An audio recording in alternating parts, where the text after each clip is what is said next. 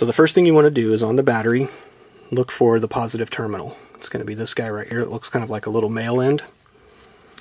You're going to take this prong at the bottom of the car charger, put it into that male end, and then use the other piece of metal to touch the, the negative on the battery to this side piece on the charger. So let's see what it looks like before we even hook it up to the phone. I'm going to put that. It's kind of tricky to hold it there. Put the piece of metal, touch it, you can see the light comes on. So that means we are completing the circuit and electricity is flowing. Let's hook up the USB and let's see if it works. There we go.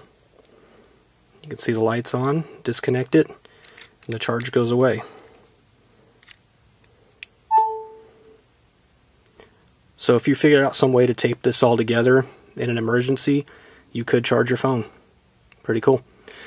Thanks for watching, guys. Hit the subscribe button below if you like what you saw and you want to see more in the future. And we'll see you on the next one.